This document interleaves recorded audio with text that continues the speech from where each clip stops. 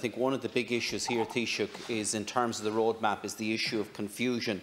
So, like under the government's roadmap, we know when we can get a pint and where we can get a pint, uh, but uh, people with a disability don't know when their facilities are going to be open, when their training centres are going to be open, or their elderly relatives and parents don't know when they're going to be open. So we do need clarity in relation to all of these issues.